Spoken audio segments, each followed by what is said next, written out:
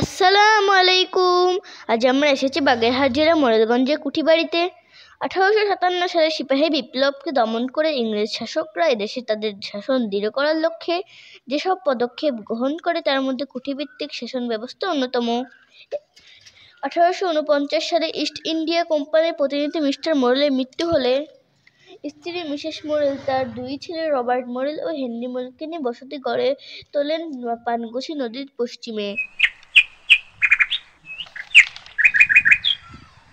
এই কুঠিবাড়িতে ছিল নাচঘর, গুদামঘর ও লাঠিয়াল বাহিনীর জন্য পৃথক ঘর আমরা এর কাছাকাছি চলে এসেছি। আমরা এখন এর ভিতরে ঢুকছি। দেখুন, এই বাড়িটা কত বড়। আগে ছাদ ছিল।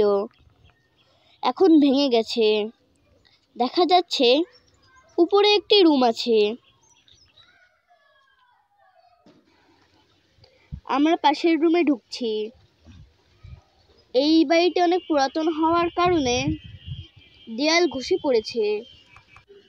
দরজাগুলো ভেঙে গেছে, নিচে ঘাস ও আগাছা জন্মেছে।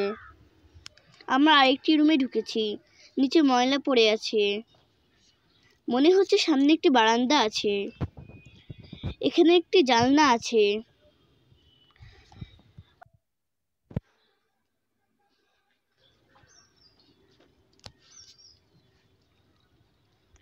আমরা কুঠিবাড়ির পিছনে চলে এসেছি। আমরা কুঠিবাড়ির সামনে ফিরে আসলাম আপনাদের অন্য রুমগুলো দেখানোর জন্য। সামনে একটি অন্ধকার রুম আছে। এই রুমের উপরে এখনও ছাদ আছে। এ কারণে এই রুমটি অন্ধকার। এই রুমটি ঠিক কতটুকু অন্ধকার তা দেখি। দেখা যাচ্ছে ছাদ থাকা সত্ত্বেও এখানে হালকা আলো প্রবেশ করছে।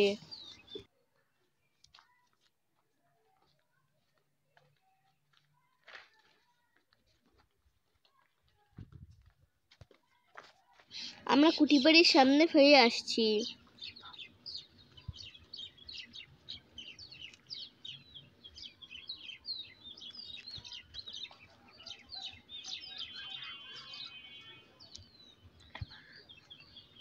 আমরা কুঠিবাড়ির ডান দিকের রুমে প্রবেশ করছি। এই রুমটি ততটা বড় নয়।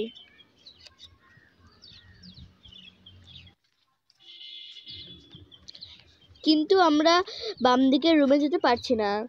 এর কারণ এই রুমে তালা মারা আছে। আমরা কুঠিবাড়ি আরেক পাশে আসলাম।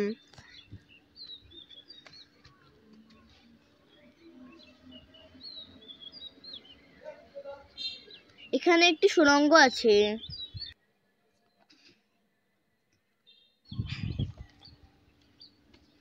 আমরা সুড়ঙ্গের মধ্যে প্রবেশ করলাম।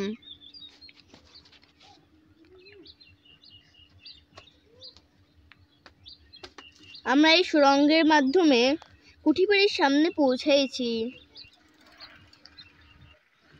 এটা হলো কুঠিবাড়ির পিছন পাশ।